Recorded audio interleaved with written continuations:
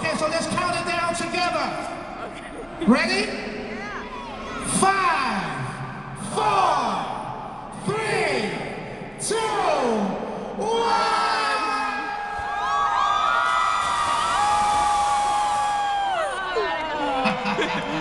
one.